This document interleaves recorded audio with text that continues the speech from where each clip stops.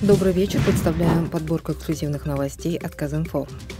Собственный корреспондент информагентства в Турции Акжигит Чукубаев пишет, что в 11 провинциях страны, в прошлом году пострадавших от сильного землетрясения, строительство ведется на протяжении года. В некоторых городах построены целые районы с 4-5-этажными домами и одноэтажными коттеджами. Власти планируют обеспечить жильем всех граждан, которые на правах собственности ранее имели жилье.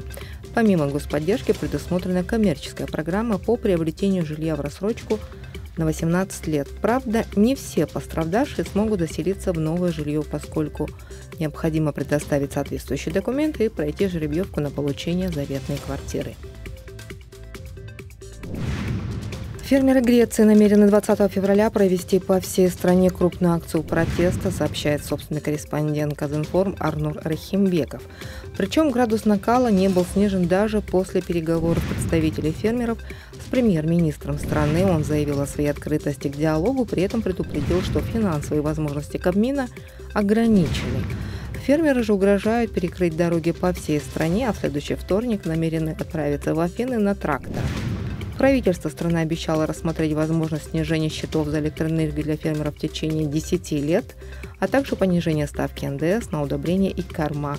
Но эти дополнительные меры протестующих не воодушевили.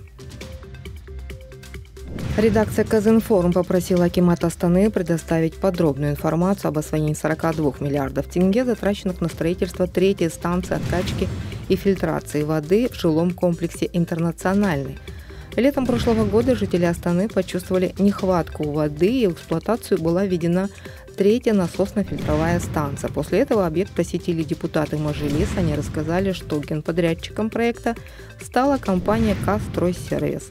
Процитируем фрагмент из ответа столичного акимата. Разработчиком проекта является ТО «Стройтехмастер», генеральным подрядчиком АО «Кастройсервер». Стоимость проекта зависит от многих факторов – в связи с наличием в них сведений, относящихся к государственным тайнам, предоставление технико-экономического обоснования и проектно-сметной документации невозможно.